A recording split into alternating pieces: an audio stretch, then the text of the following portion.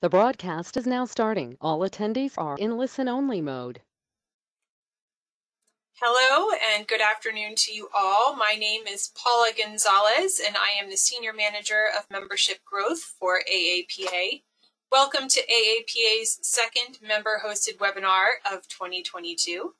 It is a pleasure, as always, to share our members' talents and expertise with you throughout the year through AAPA's member hosted webinar series. I hope those of you who attend these sessions gain valuable insights from the knowledge that our members impart on us. AAPA continues to offer this benefit for our members and new members in 2022. So, if there are any potential members or current members who have insights they would like to share with our port members, our supply chain partners, and industry solution provider members this year, please feel free to reach out to me after this program. And we, of course, have other ways to connect with our members. So if you are keen to learn about additional opportunities to network and learn throughout the year, please hang around for just a few minutes following the conclusion of this presentation as I will be happy to share with you some additional ways that you can engage, learn, and network in 2022 through AAPA. Now, I am pleased to welcome AAPA member and the presenter of today's webinar, Dr. Brian Pailes, the Principal Engineer of Vector Corrosion Services, or VCS for short. Dr. Pailes has been with VCS for over seven years and has over 12 years experience in the evaluation and rehabilitation of civil infrastructure. Dr. Pailes has extensive knowledge of non-destructive evaluation, corrosion of reinforcing steel, and material testing. He has performed condition assessments on various types of infrastructure, including bridges, ports, dams, buried structures, buildings, and industrial sites. Dr. Pailes is a member of ASCE and PCI. He is the ch vice chairman of the NACE Standard Committee on Concrete and is an active member of the Transportation Research Board Corrosion Committee, the American Association of Port Authorities Facilities Engineering Committee, and the American Society of Non-Destructive Testing Infrastructure Committee. So I'll go ahead and turn it over to Brian. Brian, the mic is yours.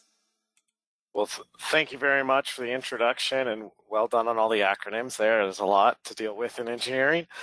So um, thank you everyone for joining me today and uh, I appreciate the AAPA for uh, hosting this webinar. Uh, today, I'd like to present on the rehabilitation of reinforced concrete port infrastructure um, that really implements uh, corrosion mitigation to improve service life of structures.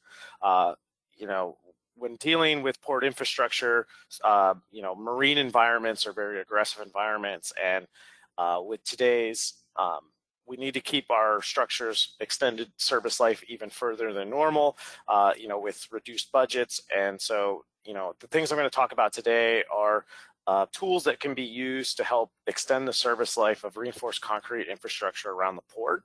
Uh, and today I'm going to be starting off with a little bit of corrosion basics, kind of get everyone on the same page about what is corrosion and how it works with regards to reinforced concrete infrastructure. And kind of similar principles uh, for steel. Uh, and then I'm going to talk about corrosion mitigation and repair with regards to kind of three primary projects that I'm going to present. Uh, the first one will be at Port Canaveral with a zinc metallizing job, uh, then a Port Corpus Christi with embedded anodes, and then Port of Houston with jackets. And so I'll kind of I'll present all these different kind of corrosion mitigation service life extension methods through these projects that were completed and uh, how they're implemented on uh, these different ports to give context to how they're used.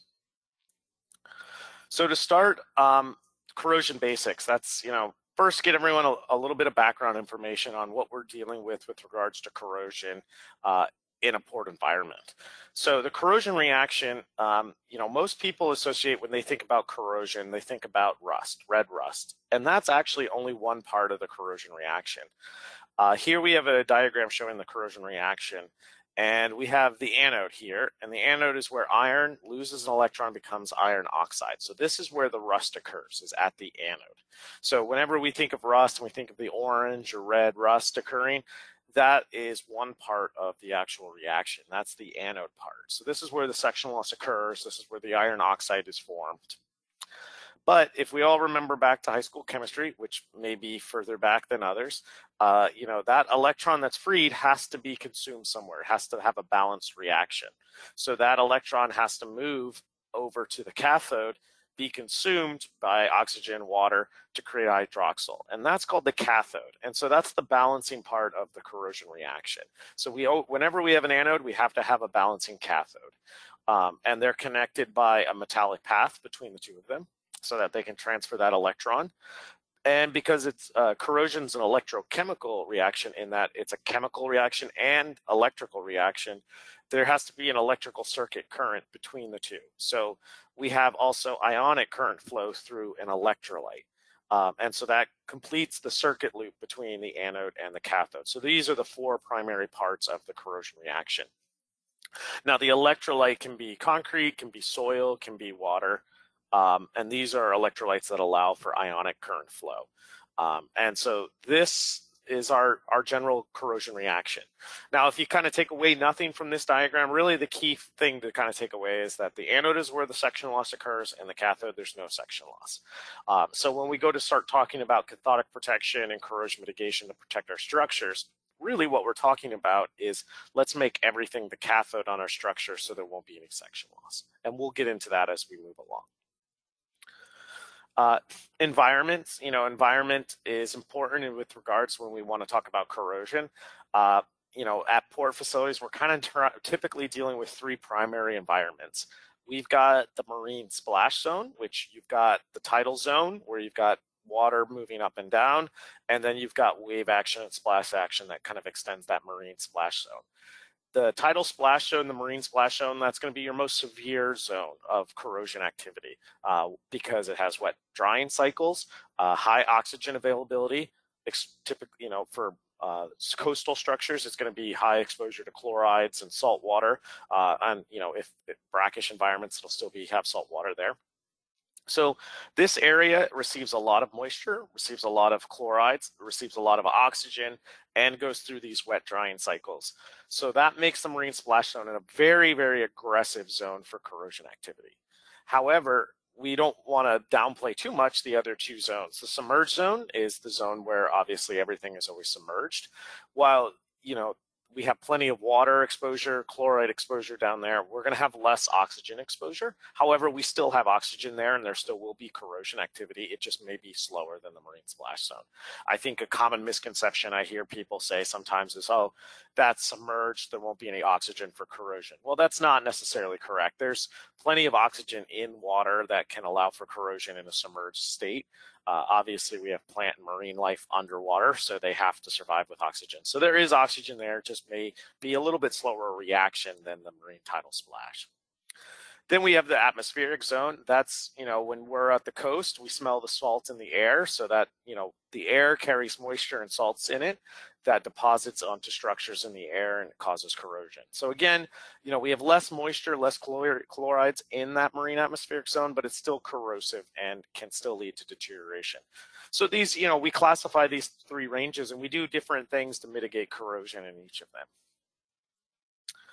For direct you know steel structures that are directly exposed to the environment um, you know typically you know the things that we're worried about with regards to corrosion that causes corrosion on them is you know we're looking at what's the pH of the environment. So, you know, water obviously is around neutral, but if you've got soils in contact with steel, the pH of those soils are going to come into play. Temperature is very important. Uh, you know, hotter environments are going to allow the corrosion reaction to occur more lap rapidly than cold, colder environments. Um, moisture, you know, I talked about the wet drying cycles, ion content, whether you're in, you know, salt water, brackish water, fresh water, that's going to have a big influence on, on your corrosion reaction time. Uh, oxygen content of the water is important. Um, you know, warmer waters actually hold less oxygen than colder waters. So say we're in the North Sea, which is very cold water, that actually has a lot more oxygen in the water. So the corrosion rates are high there. Whereas say the Gulf of Mexico, which is very warm water, holds actually less oxygen. So the corrosion rates are comparably a little less than, say, the North Sea, which would be cold and have a lot of oxygen. Even though the temperature would be regulating the corrosion reaction a bit, the oxygen availability uh, affects the rate as well. Uh, water velocity is very important when thinking about corrosion and port infrastructure. Uh, you know, we have ships berthing at these docks, and so bow thrusters and propellers um, are near various elements on the structure. So those elements can cause a washing effect to occur on, say, steel structures or other structures that that wash away, build up corrosion products, expose fresh steel to the environment, which causes faster corrosion. Um, also, if you know if the river water has a high velocity, that can cause um, you know fresh steel and fresh you know material to be exposed, and it allows for corrosion to occur much faster. And then obviously our coating qualities, you know, protection and things like that. With regards to concrete, why we like steel and concrete is because of the alkalinity of concrete. So concrete protects steel from corrosion. So if we have a new concrete structure, the concrete will have a pH of around 13 and that high pH will protect the steel from corrosion. So the concrete, it really acts as a barrier, just like a, epoxy coating would on steel. You know, coating on top of, you know, steel inside of concrete, that concrete is a barrier to it. It protects it from chlorides and other harmful contaminants that would get into the concrete to cause corrosion of the steel. Now, that barrier isn't perfect and chlorides will eventually reach and get into the steel and cause corrosion of reinforced concrete, but it is an initial barrier that provides some service life there. Um, and that alkalinity of the concrete provides a good barrier. So even though when chlorides do start to get into the concrete, those chlorides uh, take a while. They have to build up in concentration to cause, start to cause corrosion. The damage we, we see on concrete, so when we think of reinforced concrete and we think of corrosion deterioration, we think of concrete spalling off and falling off the concrete structure and the cracking. That's kind of visually a lot of things that people uh, jump to, and you can kind of see here's, uh, you know, a, a cap that you can see where there's red rusted rebar and concrete spalled off. Well, the damage relating to um, corrosion deterioration from steel inside concrete is really due to the expansive product product uh, expansive properties of the reinforcing corrosion. So as iron becomes iron oxide, it grows in size. So iron oxide can be seven times the original size of the iron. So that is a very expansive product. So inside concrete, that steel, as it rusts, it grows, it expands, it causes tension in the concrete, which causes the cracking and delamination. And so it's that expansive rust that causes the cracking and spalling of the, of the concrete. When we look at corrosion deterioration, nowadays there's different reinforcing materials that are used out in the industry. Um, you know, the most common would be your conventional reinforcing bar. You know, those are in structures, they're solid bars, um, they're not under a, a, large amount of stress.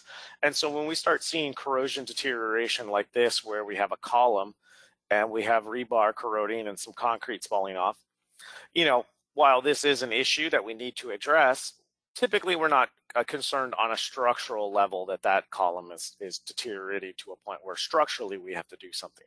Now, aesthetically and durability wise, we should do something to keep it in service and, and extend the life. But obviously, we're not going to take that element out of service because we're worried about structural damage because the amount of corrosion it takes to cause that spall has only done a minor amount of section loss to that rebar. And that rebar is under a low amount of stress, so a little bit of section loss isn't a big deal. However, nowadays we're using high strength uh, tendons uh, in pre-stressed and post-tensioned elements. These high strength strands are you know wires that are or bands of wires uh, that are are pre-stressed to high loads and then cast in concrete or or concrete is put together and then these these um, tendons are stressed afterwards at high levels so these high strength tendons have a, a, a very large load on them high stress they have a small surface area or a, a small cross-sectional area. Um, and, you know, structurally, they play a significant part in the element. Um, so here we have a beam and a spall is formed, and you can see that the pre-stress strands have fully corroded by time that spall is formed. So while in both photos we have a similar kind of damage, we have a much more aggressive structural problem on the pre-stressed element than we do on the conventional. And because it takes a lot, you know, it takes the amount of same amount of total corrosion product to cause the spall in both instances. But because the high strength strands have a smaller diameter and are under much more stress, that little bit of corrosion has a significant impact in their um, in their uh, capability to, and you can see they failed. So that little bit of corrosion has gone much further as where on the conventional bar, we may have only gotten say 10% section loss. On the high strength strands, we're at like 100% section loss. And, and so that's obviously of concern. If we're not seeing the corrosion activity until it becomes at this stage, that can be a structural issue. Um, and so it's always important to understand the kind of elements that you're dealing with in a, in a port infrastructure. If you have these precast elements or post-tension elements, maybe we need to be looking at those sooner before the visual signs of deterioration are there, because once those visual signs are there, that deterioration may be much more aggressive than it would have been on, say, a conventional reinforcing structure. So that's a little background on corrosion. Um, so how do we mitigate it? How do we protect reinforced concrete structures from it? Um, so there are several different ways. Um, you know, typically first step is barrier coating. So for steel structures, we use a lot of epoxy coatings and other things like that. Uh, like I said earlier, concrete is a form of a barrier coating. Uh, you know, we use barriers to keep the steel protected from those aggressive ions or water and other things. However, you know, barrier coatings can only last so long. Uh, we also implement uh, cathodic protection, and that comes in two forms, galvanic and impressed current, which I'll talk about. Um, and also nowadays, we're also using more corrosion resistant materials. There's a lot of new uh, reinforcement steel grades and things like that that can be used to help improve the durability of coastal infrastructure. Uh, stainless steels, uh, um, steels that are clad in stainless steel, um, epoxy with zinc coatings. There's all sorts of different reinforcing steels now, uh, and now they're even using carbon fiber, non-metallic bars, so carbon fiber, glass fiber, um, basalt. So there's there's a wide array of corrosion resistant or improved corrosion resistant materials out on the market these days. So when looking at new structures, um, you know, using some of these materials can really help to improve the durability of port infrastructure by extending the service life of those elements and not having to worry about corrosion. But today's talk, I'm really going to focus on cathodic protection of existing structures. Um, and so cathodic protection, if we, we go back to my earlier slide there, if we make everything on our structure the cathode, we will not have any section loss. And that's really what cathodic protection is. It says, okay, if we have a structure that's at risk for corrosion, if we make all of our structure the cathode and we make something else the anode, then we will have protected our structure from section loss. And there's two main types. There is galvanic and impressed current. So galvanic um, is where we take a galvanic anode, we directly connect that anode to the steel we're trying to protect in an electrolyte, so here you can see we have the same corrosion reaction that I was showing earlier. We have an anode, now we have a cathode, we have a metallic path, and we have an ionic current flow. Galvanic anodes supply will sacrificially corrode, giving up their electrons to protect the steel, to create that cathode, that cathode. Typically, the galvanic anodes that we're dealing with are going to be zinc, aluminum, and magnesium. And because the reason those three metals are used is because they're less noble than steel. So they're going to sacrificially corrode to protect steel. Um, most commonly, so aluminum is going to be used any ports that are on the ocean or marine salt water environments. They're going to most likely use aluminum anodes because of the salt water. Uh, more kind of inland structures are probably going to be using zinc because zinc will work better in brackish and freshwater environments. Uh, magnesium would typically be used on in soil, so pipelines and other things like that are protected commonly with magnesium. Um, and so we can size this galvanic anode based on the environment and how long we need to protect this structure. We can determine how many electrons we need and with that number, we can figure out the mass of the anode. And so we can figure out the mass of the anode to protect that steel structure. And in short, really that galvanic anode is just giving up electrons to protect the steel. So if we need a system, if it really is just giving electrons to the steel, well, we can get electrons from a power source, say from our AC outlet. That's that's a, I mean, quote unquote, unlimited source of electrons. And so we can use, so impressed current cathodic protection is where we say, okay, let's take a source of electrons, say um, AC power, we could use solar power, wind power, anything that generates energy, we can use that, have those electrons delivered to the steel. And so that's what impressed current cathodic protection is, is we take a source of energy, we convert it to DC power. So if it's AC, we have to convert it to DC and then push it onto the structure. Obviously with something like solar or wind, it's already in DC, so we don't have to we don't have to rectify it. And so then we push those electrons onto the structure. And then we, we still have to have an anode, uh, a delivery system, but this anode is now a stable anode, unlike in galvanic where that anode will corrode and deteriorate. For ICCP, it's really just a delivery method. So we use something like carbon tubes, uh, titanium with mixed metal oxide, uh, high cast silicon iron anodes. You know, there's a bunch of wide array of different anodes on the market, but these anodes are a little bit more dimensionally stable than galvanic anodes. So as we push the current through them, they don't degrade quite, they don't degrade that quickly. And so now we can adjust. We have full control of the amount of electrons coming out of our structure.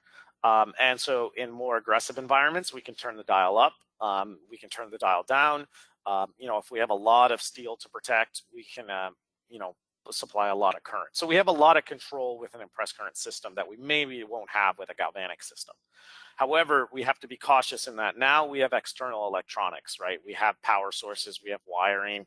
So that system now needs to be monitored and maintained to have an effective service life.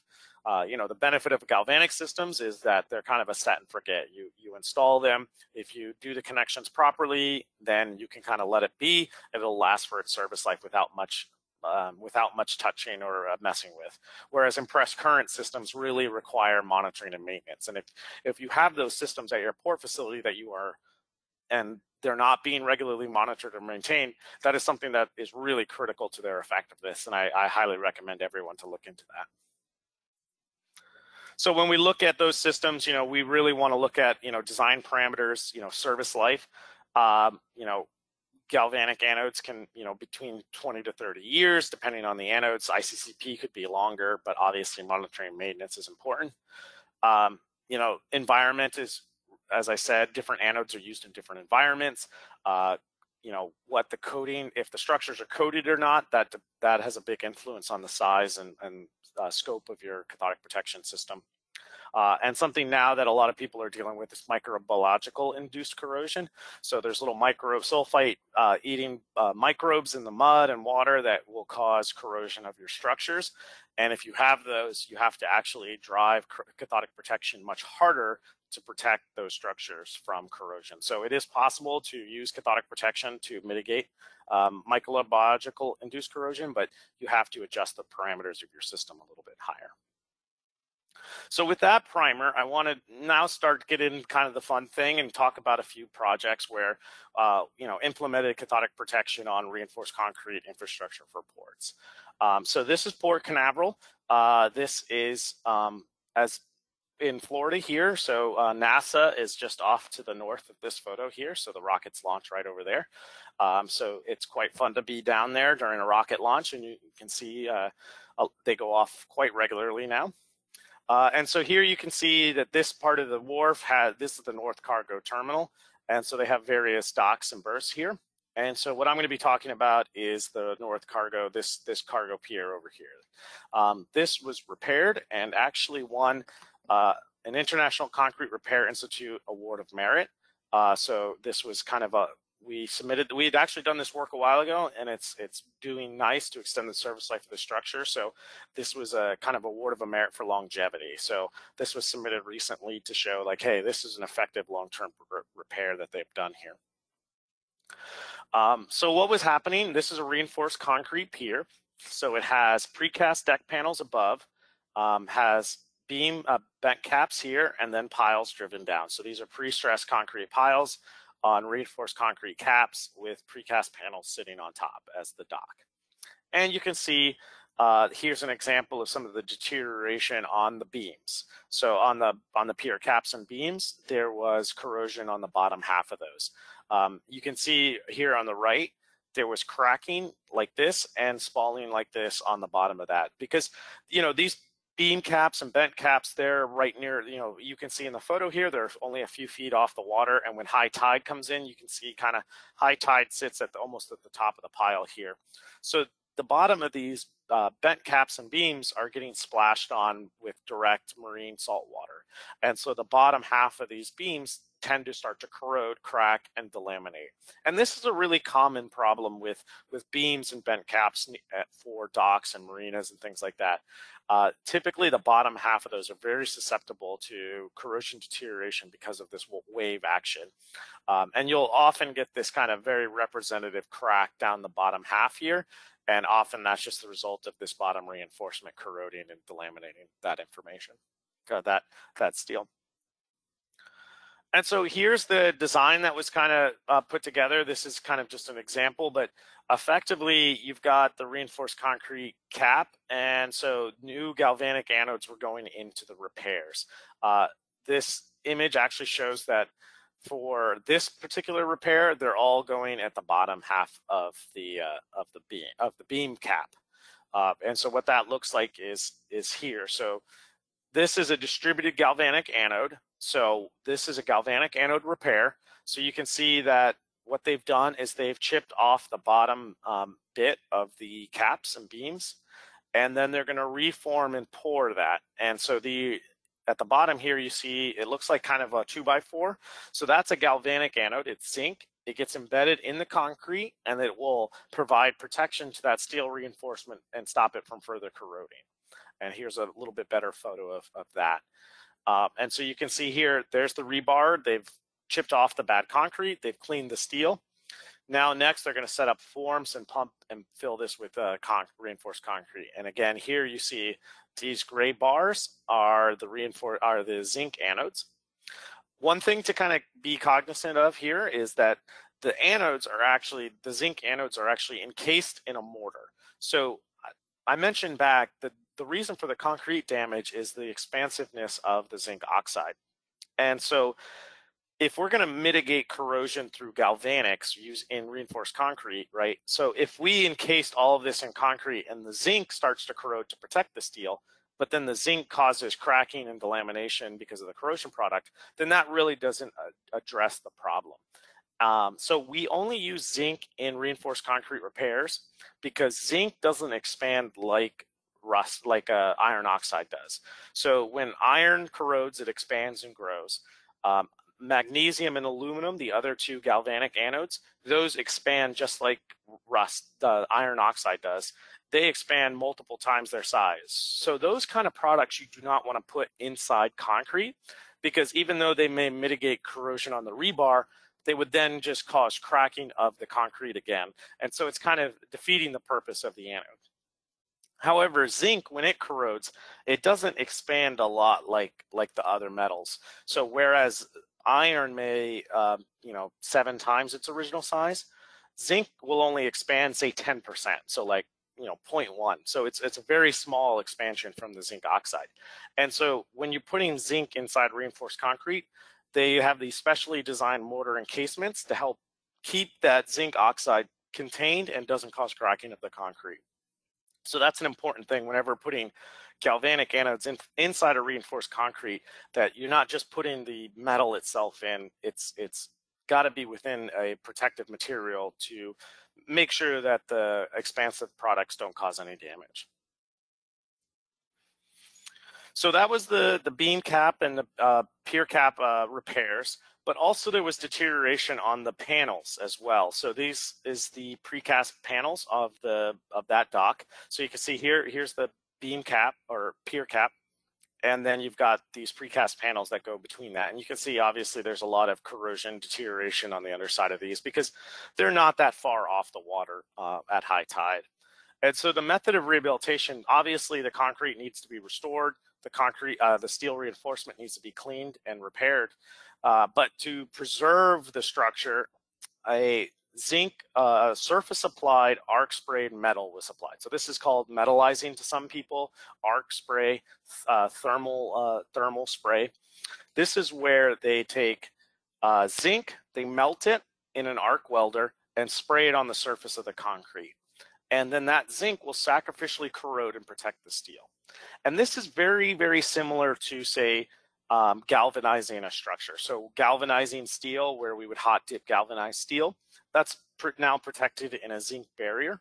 Well, obviously we can't take this structure and go hot dip galvanize it, but we can kind of take the the galvanizing to it, right? We can take this welder, spray that zinc on the surface.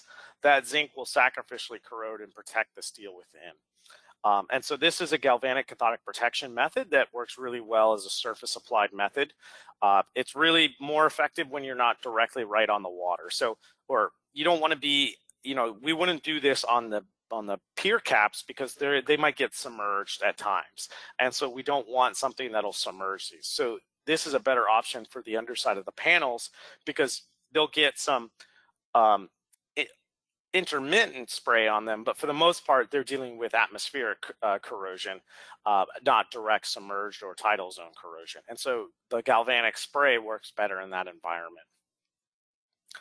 And so here's just kind of a schematic of what that looks like. Uh, you can kind of see here at the bottom, you put a couple of spray layers of the zinc metallizing, and then that system is connected to the reinforcing steel through a rod and the plate. And so this provides an electrical connection between the anode and what you want to make the cathode.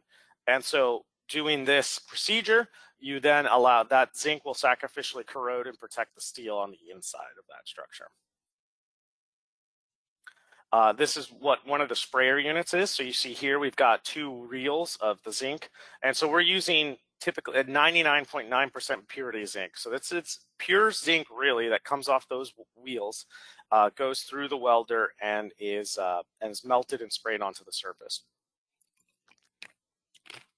And you can see here it's obviously quite uh, messy work, so uh, forced uh, ventilation hood uh, ventilators that they have to wear during this. But you can see um, a few, he stands about a foot away from it and just works back and forth spraying the, the zinc metallizing on the surface of the panels. Um, and so him, here again is, is the gentleman working, and so they're just, they've pre-cleaned all the surface of the concrete. One thing you'll notice is it's a little hard to see, but there's little tabbies on the concrete. So those are little pieces of tape. Um, so that's a QC process. So what they'll do is they'll put little one square inch pieces of tape every so often on the concrete and then they spray over all that.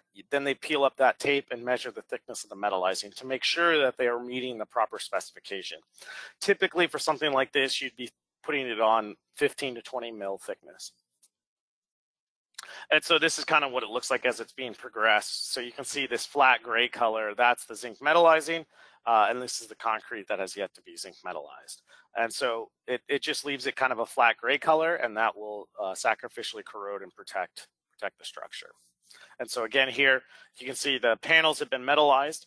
Uh, they're in the process of, of doing the bottom of the pier cap repairs right now, and so they'll form and pour this. And so again, you know, the metallizing is great when it's a little bit higher off the water. Uh, you know, we wouldn't necessarily metallize uh, the cap as a repair because with the direct water exposure, it would cause that zinc to corrode too fast. The next project I'm going to talk about is um, Port of Corpus Christi, and this actually just won the Award of Excellence at the International Concrete Repair Institute. Uh, that, that, by the way, that's an organization you know I'm I take part in, uh, looking at really understanding concrete repair strategies and um, doing effective concrete repair work to extend the service life of structure. So very similar to what I'm talking about today, that organization is really interested in. Um, and so we did this work and they won an award of excellence for that. Um, and so this is, these are two oil docks at Port Corpus Christi, uh, four and seven. Uh, so these docks were, you know, marine coastal environment. They were starting to corrode and deteriorate, and the owner wanted them to be rehabilitated. Um, so this is kind of what the main dock looks like. It has, you know, various uh, columns, piles, and uh, reinforced concrete beams. Um, and so based on um, what the owner wanted was to have all these different elements repaired uh, because they were starting to corrode and deteriorate. So in the original RFP, the owner actually wanted to, to spray metallizing, do the metallizing procedure on all the beams and columns of the, that oil dock. And so that was the original plan, uh, which, you know, like I said, can work really effectively in reinforced concrete near a coastal environment. Um, and so, you know, with the metallizing process, it requires one thing I didn't mention is, you know, it requires a lot of surface prep too, because you, are requiring the zinc to bond to the surface. So you have to do a lot of sandblasting and cleaning beforehand, and then you can spray on the system. One of the interesting things of this job was the kind of initial bid scheduling constraints. Uh, because it is a working oil dock, and obviously we don't want to interrupt that um, unloading and loading of oil, because uh, obviously that's a moneymaker for the port. So the port had a very strict schedule about days of being allowed to work per month. And in the RFP, kind of an example here, you kind of had you had three one-day windows, you had four two-day windows, and you had one three-day window. So those were like the continuous day windows, and then you had 14 total days in a month to get work done. And so with metalizing, that's kind of challenging because there's a lot of prep work and then spraying. So if you're in the middle of something and then you have to stop work, that can be you'd have to then effectively redo that work. And and so um, so the bids came in very very expensive um, on the initial RFP for the for the port. So because you know zinc metallizing is almost all hot work so we obviously can't do hot work when there's a ship berth uh, it requires sandblasting on the concrete surface uh, arc spraying uh, is obviously hot work, and then you know connections to the concrete to the steel require um, drill holes, and so that's hot work as well. Um, and then you know prep work can be lost due to an outage. So you know if you only have one day of work to do, you have to do all your prep work and all your uh, zinc metallizing in the same day. Um, and if you don't get it done, then when you come back, you have to redo some of your prep work. So there's a lot of work, you know, in the bids, there was a lot of risk about having to redo work, uh, you know, environmental controls and stuff. And so the bids came in really expensive due to the limitations because it was an oil dock and there were a lot of limitations on hot work. Well, what what I did was I ended up kind of working with the port and saying, "Hey, look, I understand what you need to get done. You need to get cathodic protection for your structure. You obviously need to keep this structure in operation with an oil terminal, and you can't have hot work when that boat is there. But can we look at a cathodic protection system that maybe allows us to be more efficient? Because zinc metallizing, it just has too much prep work that if you don't do your metallizing immediately after the prep work, then you're never going to be able to get the work done. And so we looked at doing drilled in galvanic anodes. Um, and so while this work would still require, so effectively what we're looking at was, could we, instead of doing a surface applied anode, could we drill in and grout in a galvanic anode? Uh, we'd still have hot work that'd be required to drill the holes, but we can do grouting and wiring during a ship at berth because there's no hot work involved there. Um, and so what we ended up working with the port was designing a, a, a galvanic slash impressed currents two-stage anode. Um, so this is kind of an interesting product. It combines both galvanic and impressed current into a single drilled in anode. Uh, so here you have a piece of zinc that acts as a galvanic anode. But here you have a battery, an alkaline battery that provides an initial impressed current discharge. Uh, that discharge passivates the structure, creates passivation, and then the zinc metallizing takes over, or the zinc anode takes over for the service life of the anode. So this two-stage anode gets drilled in, and then that protects the structure from corrosion over 20, 30 years. Uh, and so it's a little bit more, normally this would be more expensive than metallizing, but because of the hot work limitations, this was actually cheaper because you don't have to redo work. All, you know, with the metallizing, if you do some prep work and then you don't finish that work and get kicked off site, when you come back, you have to redo prep work.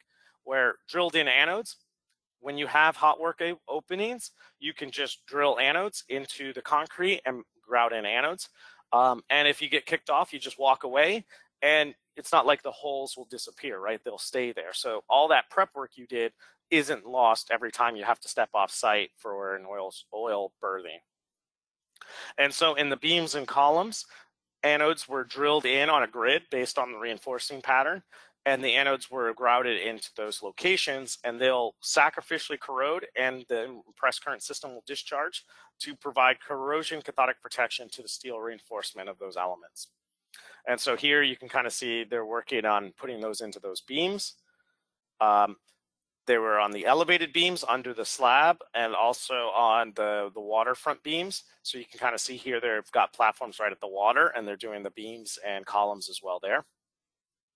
And so, like I said, from one side, these anodes get drilled into about the center of the beam and grouted in. Um, and then they're all wired together with simple button connectors um, and some wiring. And, and then they're connected to the steel reinforcement here like that. And so, you know, again, they're just going in. And so when the ship is at berth, you know, they can go do the grouting work, which is just with a bag and some cement, and they can push that material and grout those anodes in. So at least they're being they're being productive on shutdown days. So that made the project a lot more efficient from a cost point of view. And so while normal circumstances, metallizing would have been cheaper had it been a you know kind of average dock where you could just metallize whenever. Since it was an oil terminal with hot work limitations, this became a more effective solution. And so you can kind of see here, here's some uh, drilled in holes. And then again, those are all grouted in and that's what it looks like. And then this project had some monitoring to uh, monitor the performance of the system. So reference electrodes were installed in various elements so that we could monitor the performance of that system. And so this is kind of this is what it looked like when it's completed. You can't, you know, you you kind of see right here there's some repair work, and so that's where the anodes were installed on the top of these beams. Um, and then again, here's the finished repairs. Here's a little junction box for a monitored area. And so some various areas were monitored on the structure. And so here's uh, you know, various monitoring junction boxes where people can come with a multimeter and just monitor the performance of that system. And then here, here's kind of a, a close-up of what that panel is.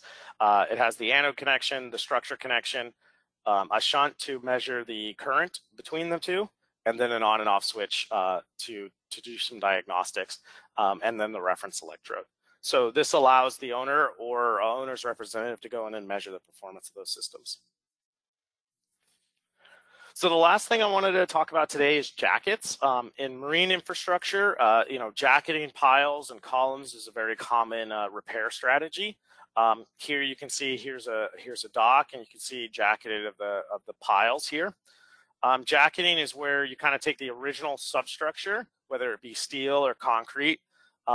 Sometimes you encase it in new reinforcement, sometimes you don't, depending on the structural capacity of it.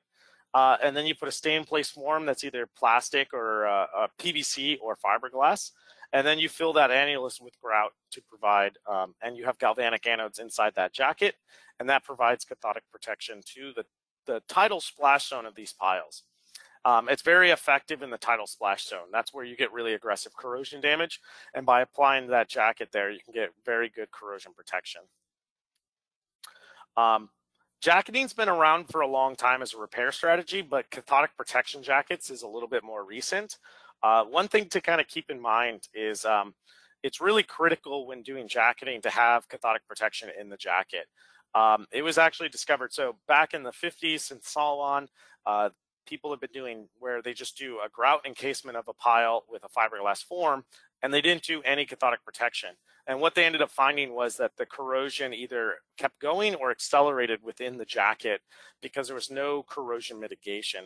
The original thinking was by putting the jacket on, they would mitigate corrosion activity by the reduction of oxygen, um, which is really hard to do. Trying to keep oxygen out of something is, is really almost impossible. So while the idea was, you know, kind of theory was sound, in practicality, it really didn't work.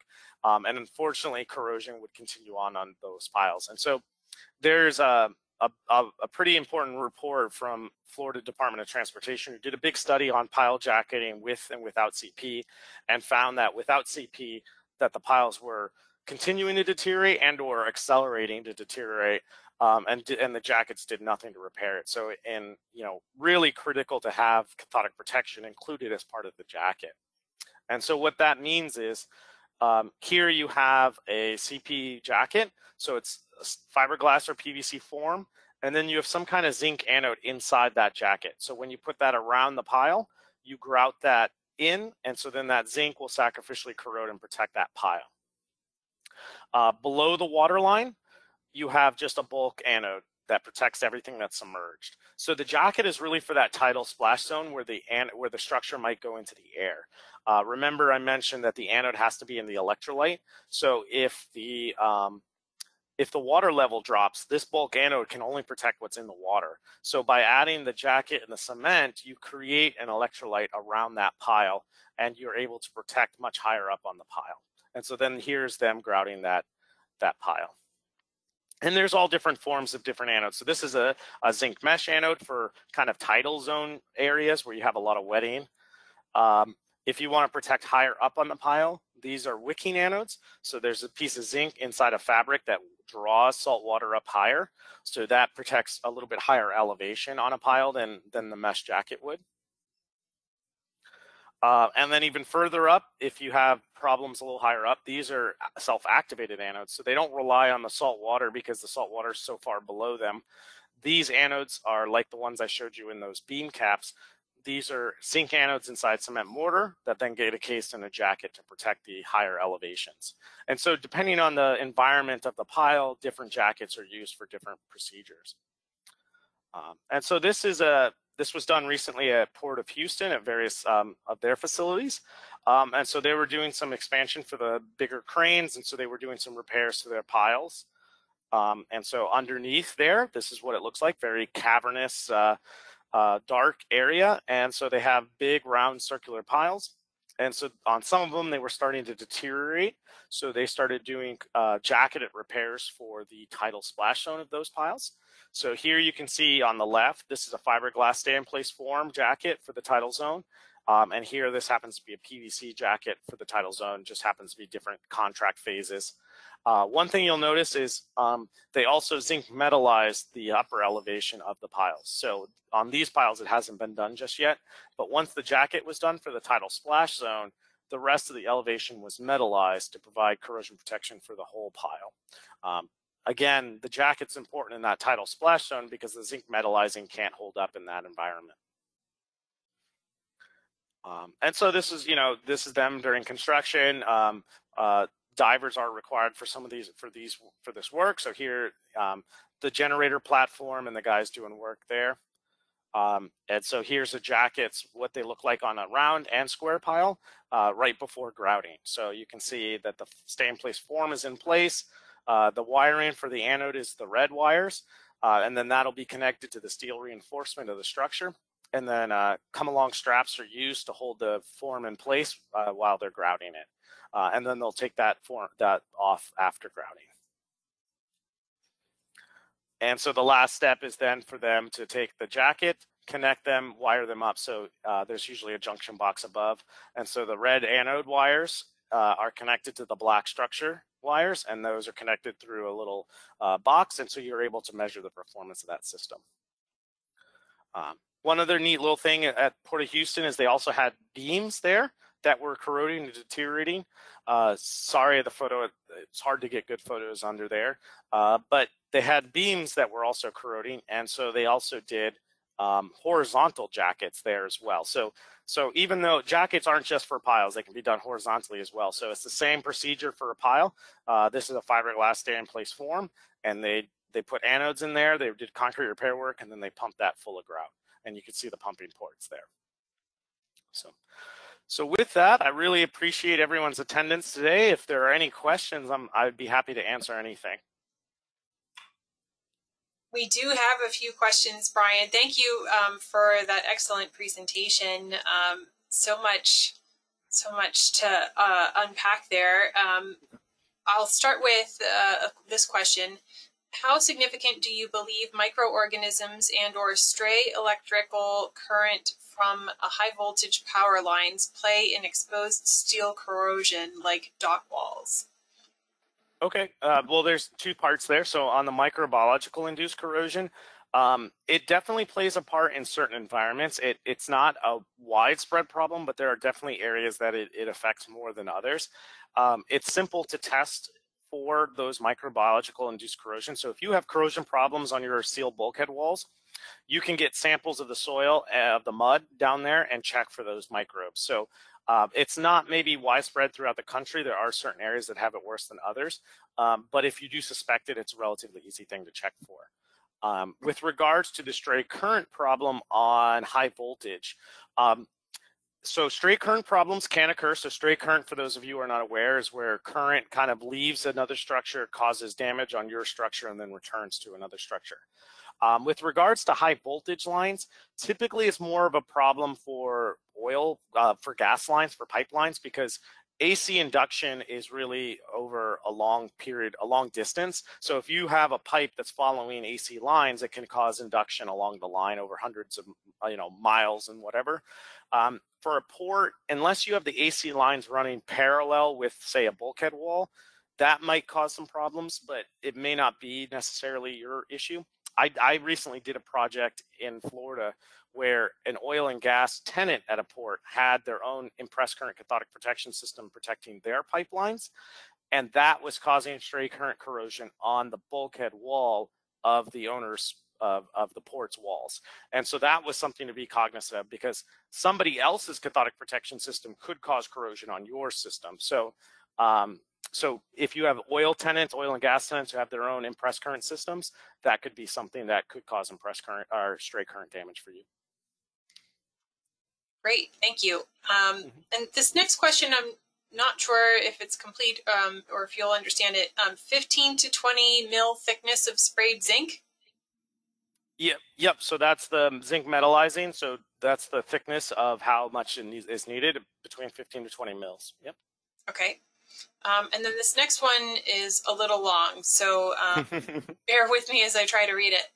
Um, okay. When connecting sacrificial anodes to a mesh of rebar, how often do you need to connect throughout the mesh? Does it rely on good connection between overlapping intersections of the bar meshes in order to protect areas where not directly connected to an anode? Related to this, does there need to be a determination on how far down the length of a bar is protected by the attachment of an anode? Okay, great question. So what you're getting at there is called what we call electrical continuity. So whenever we're doing cathodic protection on a structure, we need to make sure that the steel we're protecting is all electrically continuous and that there's a continuous metal path between it all. So for like a bulkhead wall, you know, the sheet piles, they all need to be electrically bonded. Usually we might just uh, weld a seam at, well, do a small weld at every seam.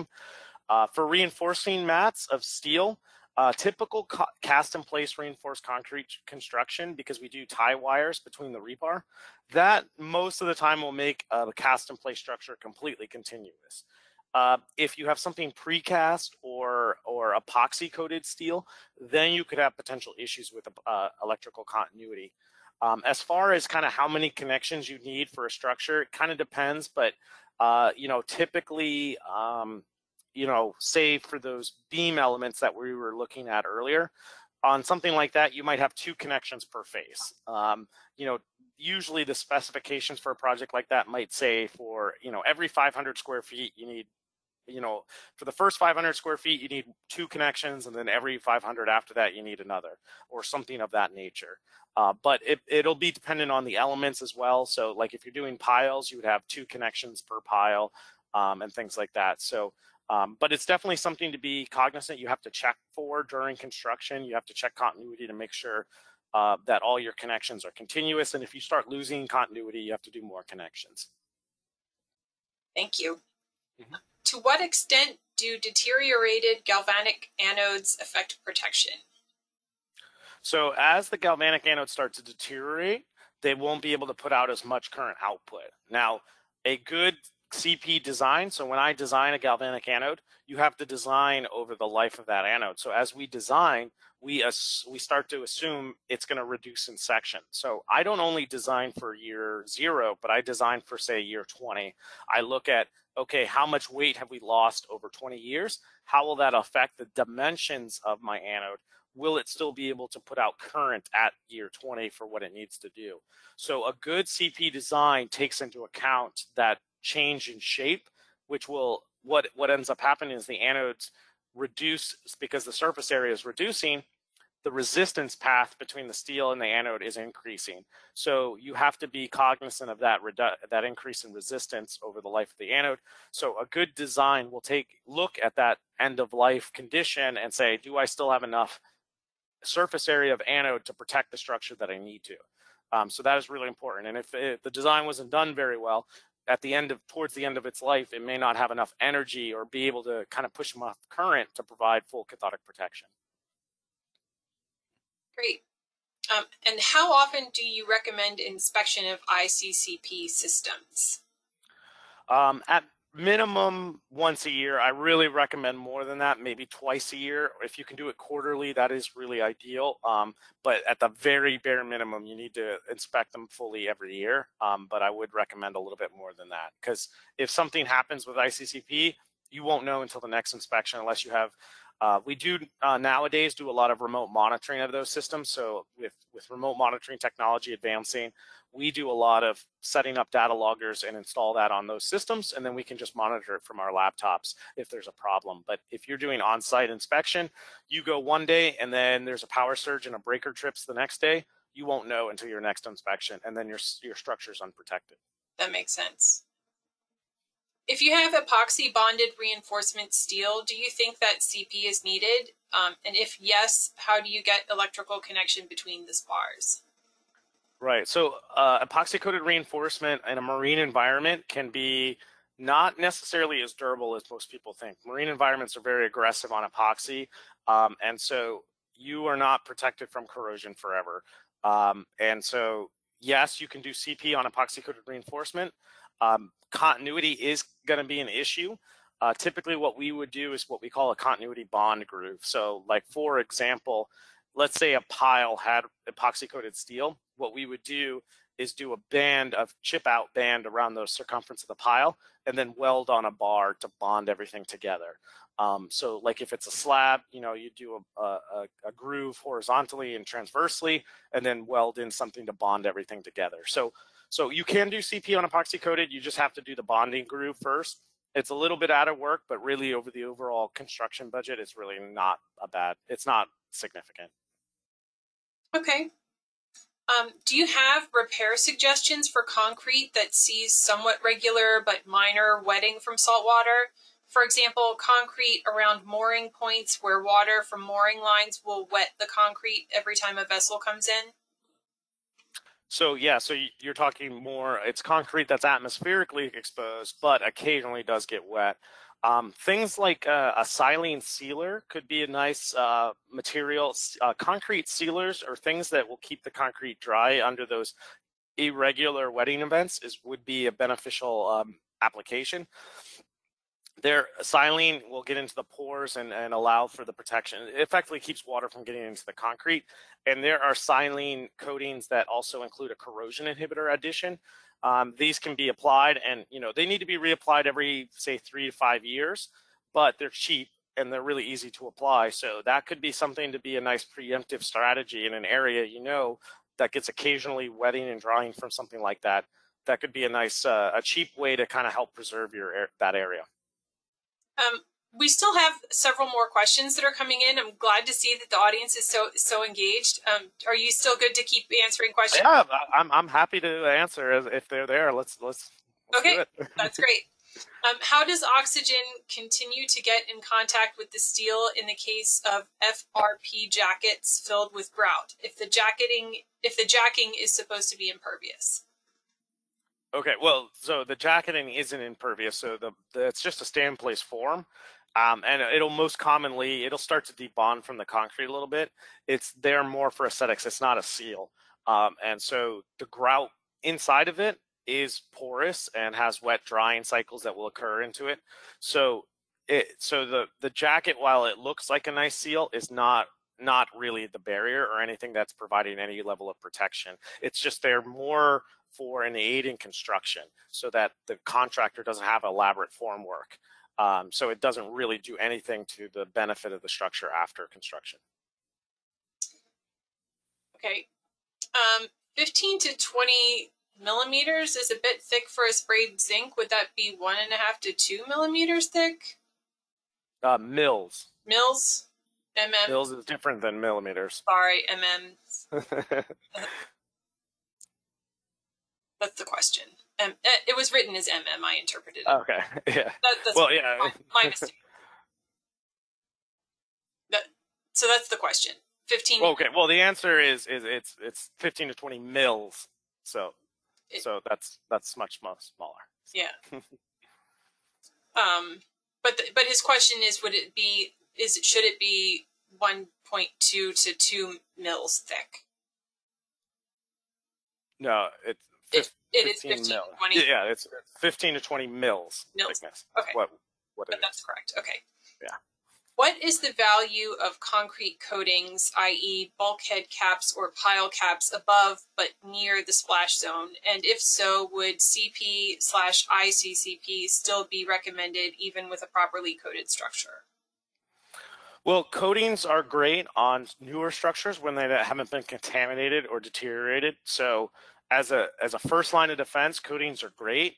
However, it's really important to maintain coatings. Uh, coatings don't last as long as maybe people let them last. Uh, so, you know, a coating in a direct marine environment may only last uh, 10 years. So, if you're not updating and maintaining that coating that frequently, then it won't really provide long term benefits. And so, if you have a new structure that really hasn't gotten saturated with chlorides or moisture, then yes, coatings will be an effective barrier to chlorides and moisture. Uh, but it's not a repair once the chlorides have gotten into the concrete. Once you already start seeing cracking and corrosion, a barrier doesn't do anything to then stop that. So that's where CP really is important. So if you're going to do coatings, it, they're great, but just know that you have to maintain those over the life of that, and and they're regular maintain maintenance there. Okay. Um, has there been any in-service, um, i.e. long-term forensic studies on hybrid reinforcing materials such as MMFX? And if so, do these materials behave similar to their carbon steel reinforced structures with regards to expansion and resulting concrete damage? Um, any other thoughts on these proprietary alternatives to conventional carbon steel rebar? So there are a lot of studies that are ongoing with regards to long-term durability. Obviously, these materials haven't been around for that long, so the studies are still, you know, they've done studies for a year, a couple of years, and shown that hey, they perform better than carbon steel, but they're short duration, high exposure uh, studies. Um, so yes, there's a lot of promise that they they do very well in that in the corrosion durability sense. From a you're talking kind of a thermal aspect, so from a more structural uh, point of view, there are some differences in those materials, especially say like the glass fibers and stuff like that, some of the non-typical metals and stainless steels. Those have different ductility and different uh, characteristics than normal carbon steel. So I know there's a lot of research and work out there on those different materials.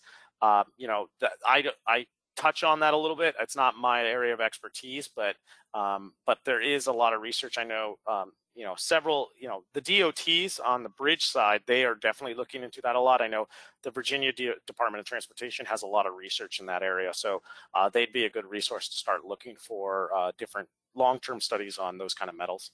Okay, great. Um, and last question: What is order of magnitude cost uh, adding cathodic protection to concrete structures? Uh, I mean, it could be anything. It depends on the structure. I mean, you know, zinc metallizing can cost you between thirty to seventy dollars per square foot, depending on the environment and the, you know, if there's a lot of contractors in the area that can do it. So, like Florida, metallizing is very cheap because there's a lot of people do it, but in California, it may not be that cheap because there may not be many people to do it, right? So things like that, it's it's really hard to say.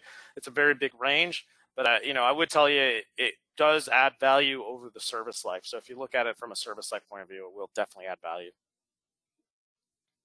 Okay. Um, that's the last question that I saw. Um, so, any parting words before we conclude? Uh, well, you know, thank you for having me. I really appreciate the opportunity, and uh, the questions were really great. Um, you know, obviously, if you have any other questions, don't hesitate to reach out to me. I always, I always love to answer interesting questions like that. So, uh, thank you again, Paula, for NAAPA for giving me this opportunity. It was, it was great. I really appreciate it. Yeah, thank you um, for your insightful presentation, um, and thank you to our audience. I hope you gained some uh, helpful insights. Um, I know we are a few minutes past our time, but before you sign off, I do hope you'll hang in just for a few minutes so I can share some upcoming events and promotions that I think um, may be of interest to you. So I'm just going to share my screen real quick. Um, I promise I'll only be a couple, just a minute or two.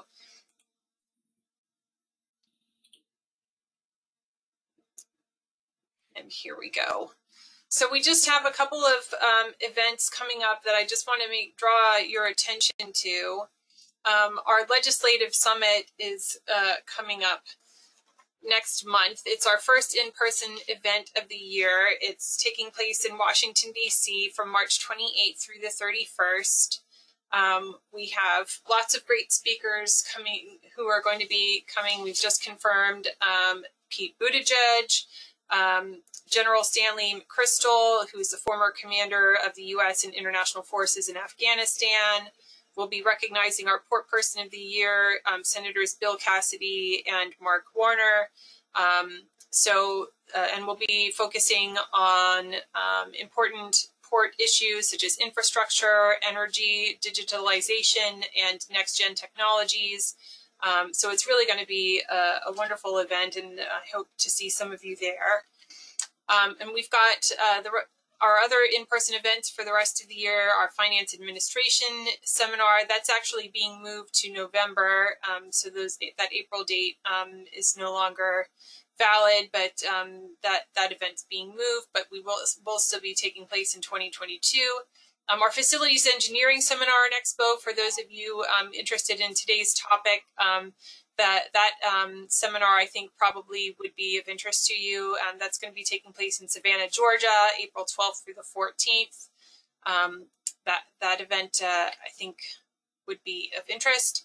Our Marine Terminal Management Training and Executive Management Conference seminar for those who are planning on earning their professional port management certificate. that event is from April 25th through the 29th.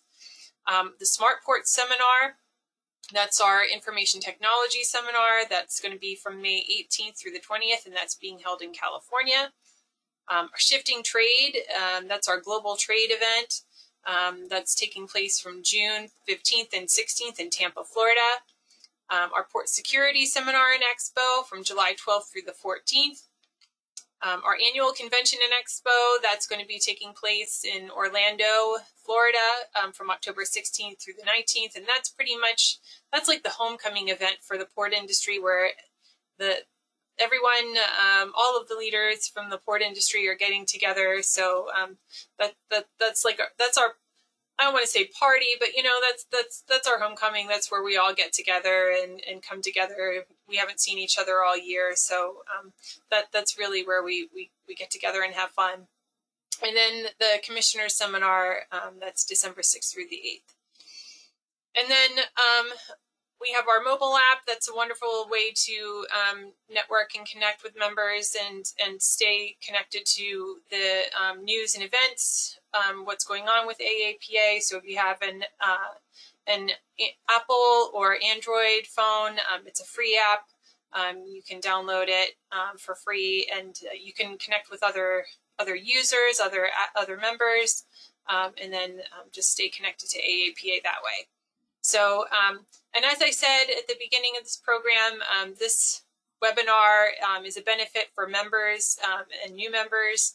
Um, we, we, let, we let our members host a webinar for free um, to present themselves and their, their thought leadership and their expertise to our members. So if you are a member um, or if you want to be a member and you would like to share your expertise and your leadership to our members, um, please feel free to reach out to me um, and, and we'd be happy to get you on the schedule. Um, so here's my contact information. I'm always happy. And then if you're if also if you're looking for for information on how to get more benefit and value from your membership, you want to to learn how you can um, connect better with with our members. Um, please again don't hesitate to reach out to me. That's my role here at AAPA is to help you do that. So with that, I'll just thank Brian one more time um, for you for for your presentation and thank you our attendees for your time and attention today. Um, i hope you enjoy the rest of your day. Take care and thanks so much. Thank you